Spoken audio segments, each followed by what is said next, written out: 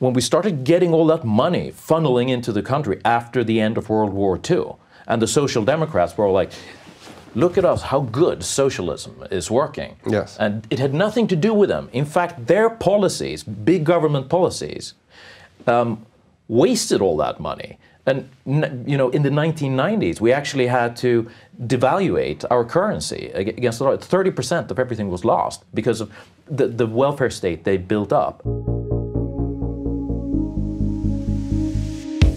You listen to our uh, socialist Democrats or Democratic socialists or whatever the hell they are these days, uh, I keep saying they're going to drop the Democrat part soon enough.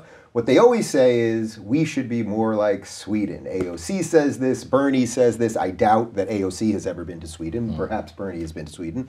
But they say the Nordic countries usually, but it's specifically we should be more like Sweden. Now, you guys have 10 million people, we have 350 million people, we have people from every walk of life, from every corner of the earth. You guys mainly were a homogenous society into the last couple of years.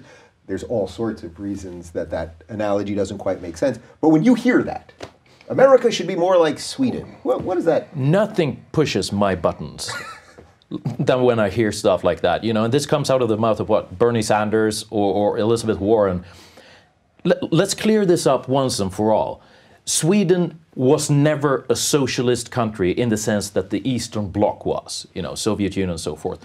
When Sweden became wealthy, this was during the, the last part of the 1800s, we had a, a bunch of laissez-faire reforms done. And so we, that's when we started the transformation to industrialize. We were mm-hmm. actually quite late to the game. It was these, you know, market, free market reforms. so when you got the government out, laissez-faire, yes. suddenly the economy starts booming, okay? Johan August Gripenstedt is the name of the guy that was very forward-thinking, uh, that, that made these reforms possible. Uh, and then things started getting better, better after that. The other thing you need to remember is that when, when we started getting all that money funneling into the country after the end of World War II, and the Social Democrats were all like, look at us, how good socialism is working. Yes. And it had nothing to do with them. In fact, their policies, big government policies, um, wasted all that money. And you know, in the 1990s, we actually had to devaluate our currency against the dollar. 30% of everything was lost because of the, the welfare state they built up. So if you hear Bernie Sanders or, or Warren say stuff like, we need to be more like Sweden, well, the, the part they're missing is that what was good about Sweden was free market oriented. What was bad about Sweden, we, we turned out into a decent country in spite of socialism, not because of. Can, can you add to that? that I can confirm that is, yeah. that is true, and you can look it up. It's factual. Yes. Yeah. So when you guys hear that and doing what you are doing, I mean, as you, it just makes your head spin, and sort of feel like you're going to smack somebody. Well, I love my job. Yeah. I really do. Um, because uh, I get to uh, piss people off, and I believe what Larry David once said that if you have the opportunity to annoy someone, you should take it. Yeah. Uh, well, you, you, are doing that. Yeah, you're doing just fine. Then. But do you think part of the issue here is that the exterior of Sweden looks a certain way? So, for example, uh, I had two trips to Sweden to Stockholm, and I was only in Stockholm. So what I'm what I'm seeing is a very snapshot version. Mm. But just from walking around Stockholm, or maybe what we see in the media, if or in the movies, if they show someone from Sweden, they're always very tall, they look very good, you know, they're they're blonde like you, and they're uh, in nice jackets. And what I noticed from walking around in Stockholm was it looked like everyone bought their clothes that morning. Everyone looked fantastic. They, everything was clean. The streets were clean. All of those things. Now I get it. It's a very small little micro version of this, but is that part of the problem that the veneer of this somehow is still selling well or something like that outside of your borders? Absolutely. Uh, I think it's a sort of a Potemkin village, if you know what that yeah, is. There's yeah. a it's a backdrop, and behind it, well, it reminds me of Hollywood that way. Yeah, uh, in the right town. Yeah, yeah. yeah. If you um, if you look at it in front, it looks good, but if you look behind the curtain, you but you don't hide your homeless. We would hide them. Yeah. Now we can't afford to hide them anymore. Well, we can't hide them anymore because you're here in California, where they're pretty much everywhere. Uh, yeah, I, I have I have noticed. Yeah. Uh, so no, but I think uh, just like not speaking out against things you might see as wrong or uh, incorrect.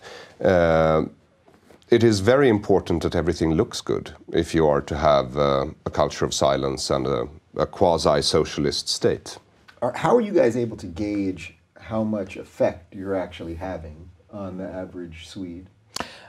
I'd say, judging by the reactions we're getting from our enemies, uh, things are going very well. Yeah.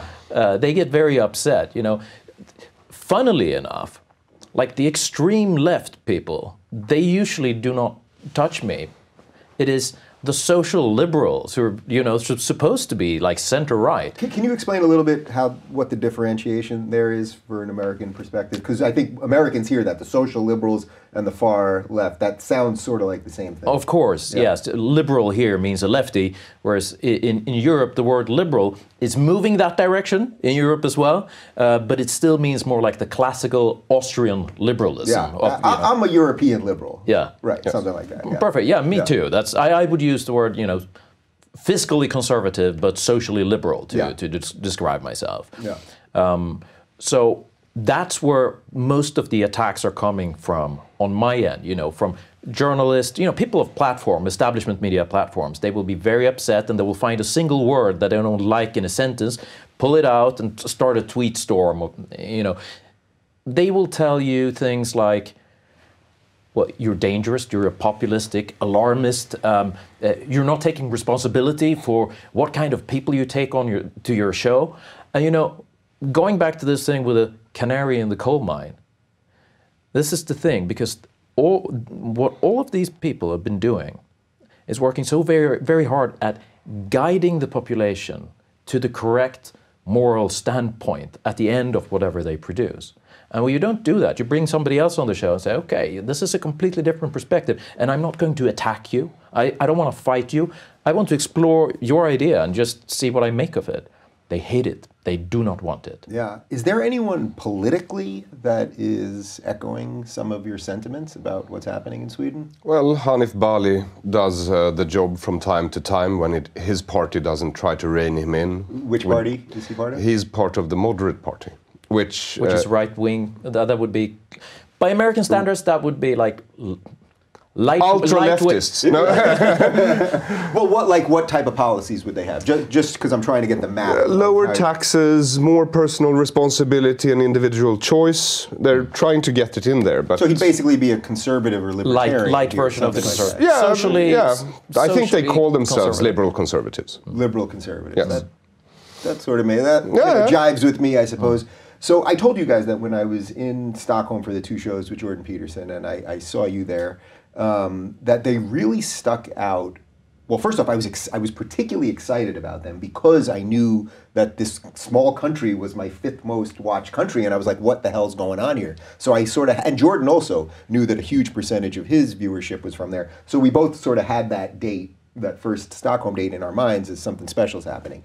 The shows were incredible. The first show sold out literally in a minute, which is why we added the second show. The audiences were, were phenomenal. Correct me if I'm you were no, so, they, they, you, you were so popular. There was a black market trading in tickets to your shows. I would like to say that it was Jordan that was very popular. so just for the record, but um, the, the thing that, that truly struck me was that after the show, we would do our meet and greets, and Jordan would meet with hundreds of people. Mine, we would just quickly sell them basically right before the show. So I'd usually get you know 30 or 40 people because we have to do it very quick. But at the at the two Stockholm shows, we had about 80 or 100 people. We jammed all of these people into a small room.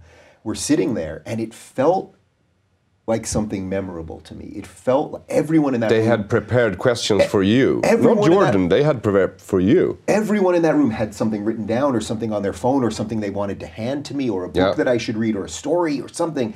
And it was it was so moving to me mm. that I think I said to you, is, is there a bar around here we can go to? And we took everybody and we went to a bar and we hung out for hours and I met until of, they closed. Met, until they closed, they kicked us out, and I met some of the Swedish intellectuals that you guys hang out with, and yeah. all these people anyway, I'm not even asking a question here. Suffice to say that it was so obvious to me that, that something is well, going on there. You could was, a, a, apart from having like an, a disproportionate amount of viewers for such a small country of your show uh, and Jordan's uh, videos uh, well, you caused quite a splash. If you're looking for more honest and thoughtful conversations about international issues instead of nonstop yelling, check out our international playlist. And if you want to watch full interviews on a variety of topics, check out our full episode playlist. They're all right over here.